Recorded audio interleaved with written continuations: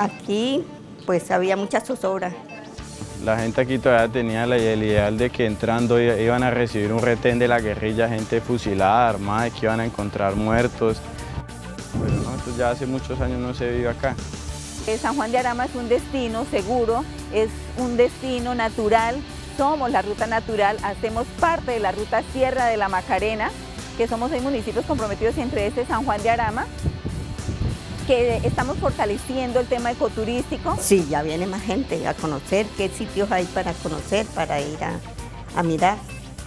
Ahora menos mal que, que, salimos a toda parte con una tranquilidad única, ¿ya? no tenemos problemas de orden público y estamos bien. Aquí incluso ni siquiera se puede decir que hayan homicidios así por riñas o por peleas, ni sicariato, nada de eso. Eso también se debe a eso, de que el acuerdo ha llevado tranquilidad y que la gente tenga más fe en venir a los sitios turísticos, porque tenemos una belleza aquí de turismo sin explotar.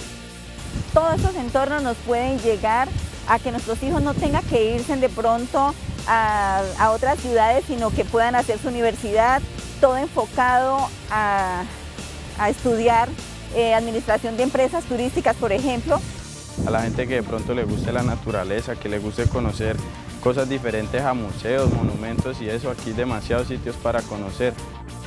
Y bacano, bacano porque vivimos para en el campo y, y para raro no pasa nada malo y más de turismo pasan por allá, hay gente en bicicleta, sino que la gente piensa que todo es grave por aquí en San Juan, pero eso no es nada malo, bien bacano, chimba.